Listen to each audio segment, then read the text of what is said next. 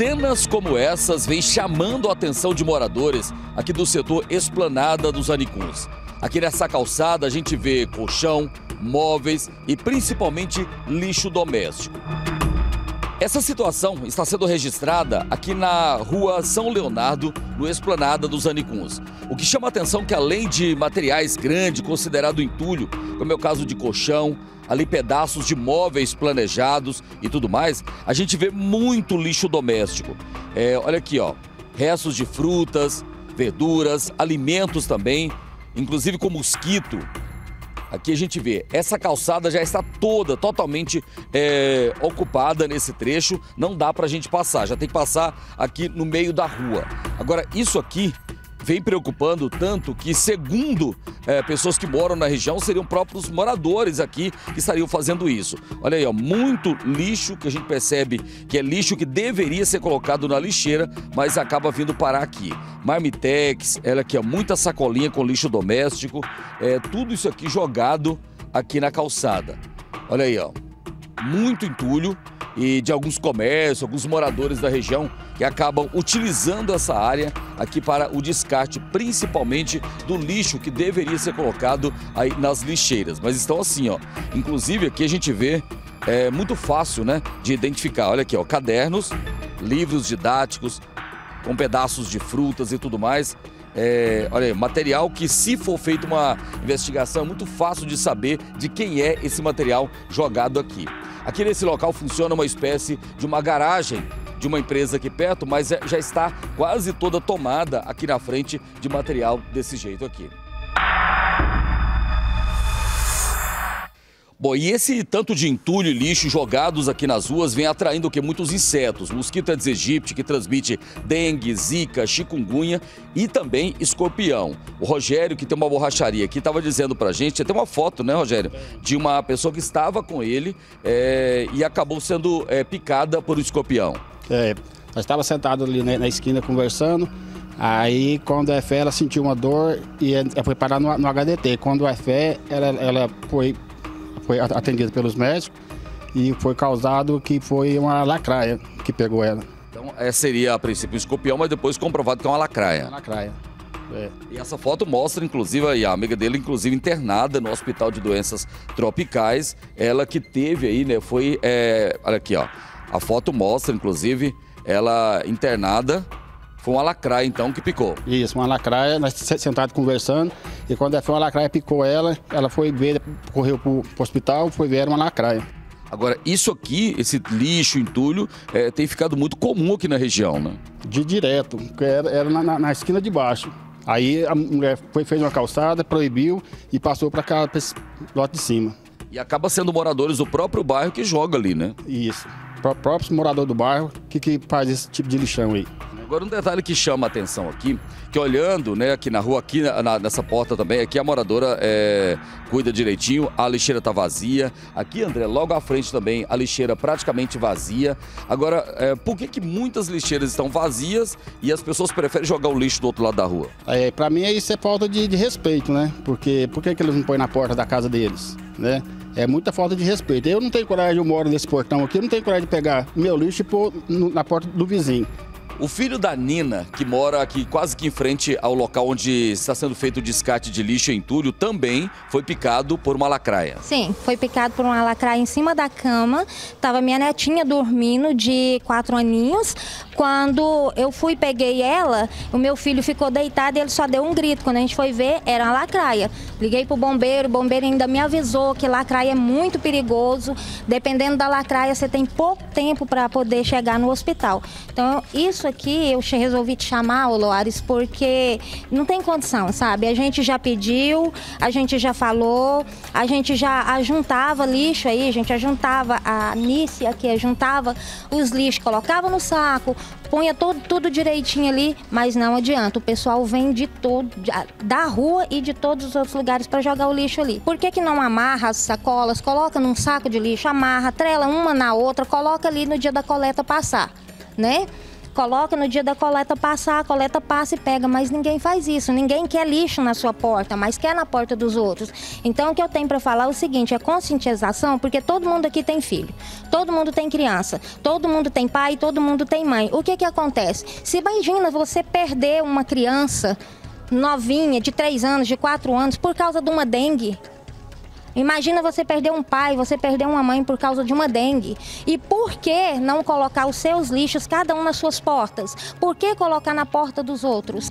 E aqui bem em frente esse lixo que foi jogado aqui, essa moradora, inclusive ela está sentada aqui porque ela está passando mal. É dengue não, né mulher? Não sei, viu? Mas que eu tô com muita moleza, tô, viu? Sentindo o quê?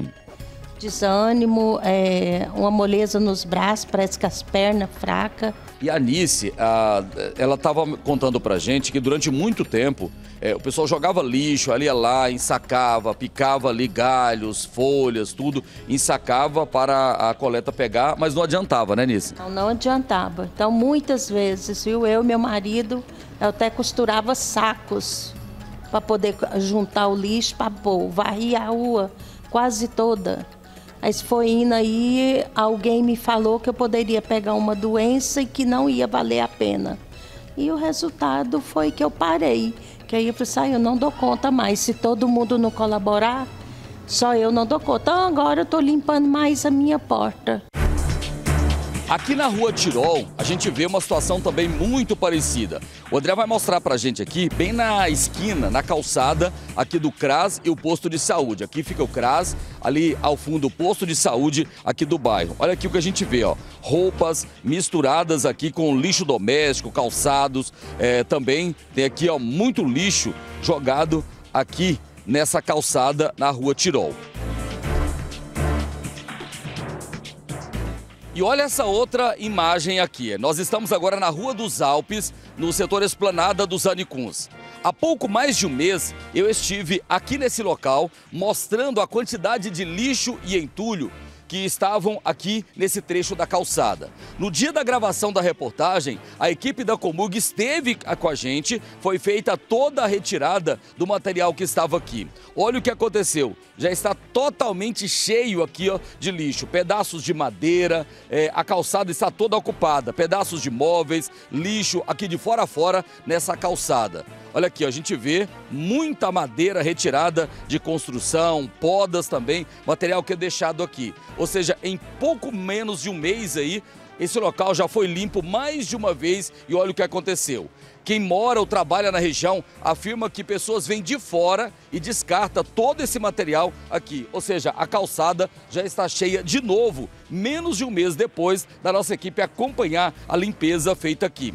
Além da calçada, a gente vê aqui, ó, parte da rua também já está ocupada. Na época, quando nós mostramos a reportagem, nós até contamos a história dessa lavanderia que teve um incêndio, né, causado por fogo colocado em madeira, que um carro lá dentro chegou a ficar danificado, a ser destruído, na verdade. Vamos até mostrar imagens de arquivo em que a van que estava aqui no estacionamento foi destruída pelo fogo colocado aqui do lado de fora. Então a informação é de que esse material está sendo jogado por moradores da própria região aqui do setor Esplanada dos Anicuns. Na mesma reportagem que nós mostramos o problema da Rua dos Alpes, é, nós mostramos aqui a Alameda Anicuns, que fica aqui na esplanada. Lá na frente, André, tem a Avenida Anguera, próximo à Baixada, né, que dá acesso ao setor ali rodoviário, aquela região. Então ali é a Avenida Anguera, né, e essa região é, estava toda tomada de lixo. Nós acompanhamos também a limpeza. Olha como é que está aqui, ó.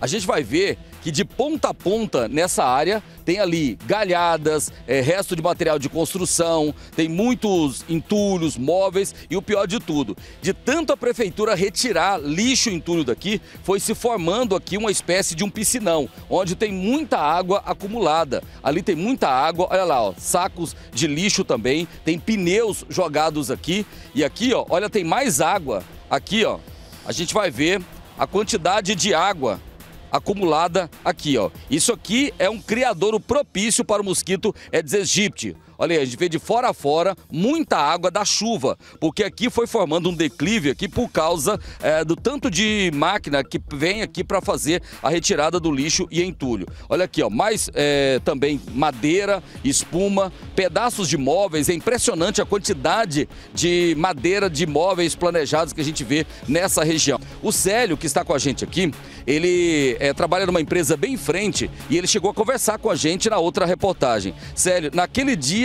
fizeram toda a limpeza, já está desse jeito aqui. Sim, sim. Naquele dia o pessoal veio cá e fizeram a limpeza, né? Quando foi mais ou menos umas 6 horas, 5 horas da tarde, o pessoal já continuou jogando lixo. Já veio cá, despejou lixo, já despejou lixo ali na frente, tanto aqui como ali. E já começou a jogar lixo até jogar fogo. E aí, ah, no mesmo dia que a prefeitura limpa, o pessoal vem e joga lixo de novo aqui. É o prazo deles pegar e virar a esquina ali, já vem e já joga lixo. Além da poluição visual, e do risco também né, de doenças causadas é, por causa dessa água aqui. O Célio também, ele já tinha falado com a gente um problema aqui nesse poste. É, o que aconteceu? Ah, o pessoal vem jogando madeira, papel e tudo mais, e tem algumas pessoas que colocam fogo e acabam, de certa forma, até atingindo a rede de telefonia, de internet aqui, né? Sim, sim. Eles pegam, jogam fogo para queimar o fio para pegar o cobre, né? pessoal que que vem catar esse para poder vender e jogam fogo no papelão e nas coisas, o fogo fica grande e queima o fio da internet. Já aconteceu de queimar o fio da internet. Não chegou a queimar o fio da energia, não, mas o da internet queimou e, e desconectou e a gente ficou sem internet durante acho que um dia, um dia e pouco. Questão do, do pessoal vir cá e arrumar.